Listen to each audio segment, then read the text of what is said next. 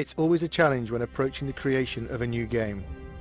There is pressure to do something different, to lead the way, to deliver even better characters, environments and stories.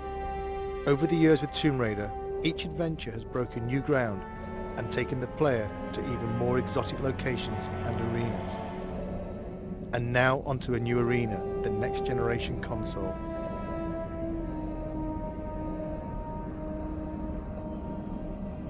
Our vision is, is to take the player somewhere dark, a place they might not necessarily wish to go, but a place that they'll have to venture if they want to bring Lara back.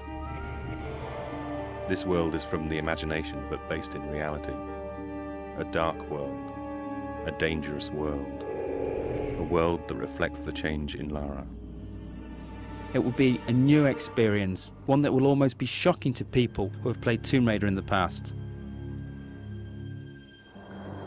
From the catacombs of the Louvre to the alleys of Prague, we searched for the seedier side of life. A world that you wouldn't normally see Lara in, but a world that she has no choice but to inhabit. Like her audience, like the game's consoles themselves, Lara has grown up. Her experiences in Tomb Raider 4 have forced her to question herself. This game will ask more questions of her. It was a very conscious decision to leave out elements of Lara's story since Tomb Raider 4. Certain aspects of that story will return. It's just a matter of when and where. For the first time, Lara will have a moral choice to make. It's no longer a clear cut case of good versus evil. This is a more complex tale which will ask more complex questions of the player. The player controls how the story develops much more than in previous Tomb Raiders. Basically, when Lara talks to a character, the player can also choose whether Lara is nice, nasty, or dismissive to another character. This game sets a new benchmark for character animation. The new consoles allow for an unprecedented level of subtlety in the way the characters can act. Some characters may betray more than their feelings. In this world, the player should look as well as listen. The advancements in game technology allow for much more complex movement from the characters. They have spines, joints, they even have fingers. They move in different ways. We borrow these movements from real people. The man on the A57, the woman on the bus. They travel much further than they think. The player will choose which paths to take, which characters to trust, which lies to believe, and which enemy to face. Some enemies may become allies. Some enemies may become something far worse. Certain enemies have taken years of conception, gestating through design and redesign. I am the first to see them born, the first to guide them through the early stages, their first steps, their first kills, until they are finally unleashed upon the world.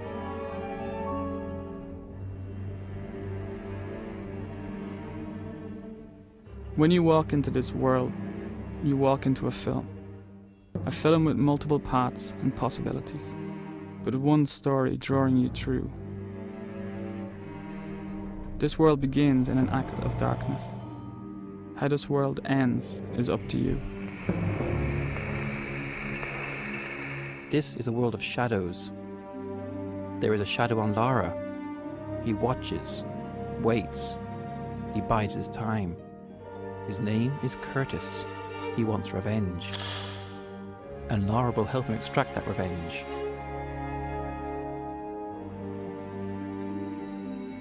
For the first time, there is another playable character in Tomb Raider. A character whose abilities combine the supernatural with the superhuman. He has a different approach to Lara, less subtle perhaps, but still effective against certain opponents.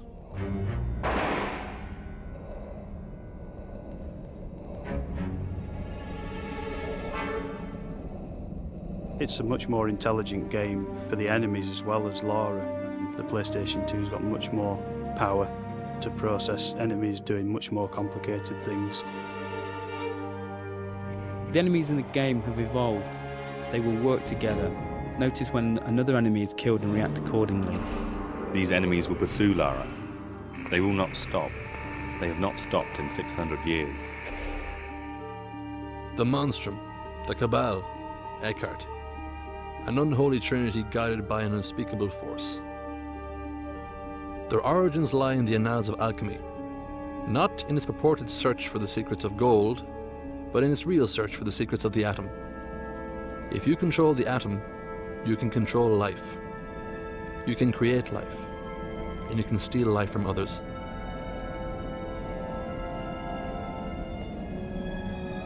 This story is very much on an epic scale, from 14th century alchemists to serial killers in modern day France.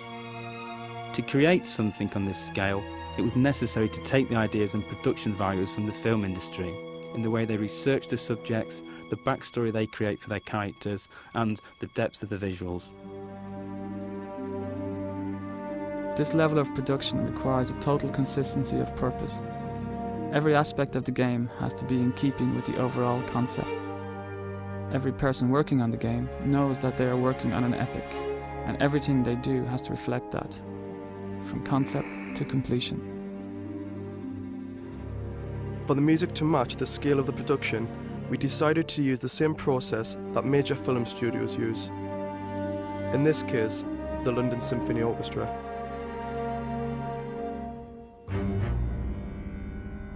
It's an overwhelming thought having your music played by 84 of the world's top musicians. But the effect of the music when playing Angel of Darkness will be well worth the shredding of our nerves. On the day of the recording, we are in the good hands of Abbey Road Studios and David Snell, the conductor. In a sense, he visualizes the music and translates it to the ears. We wanted the music to be ever present, draw you into the world without you noticing.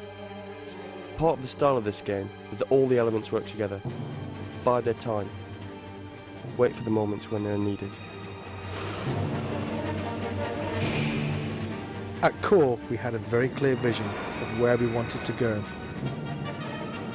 We wanted to take the Lara we all knew and put it into a game, a situation that no one knows. Tomb Raider has always set the benchmark for games.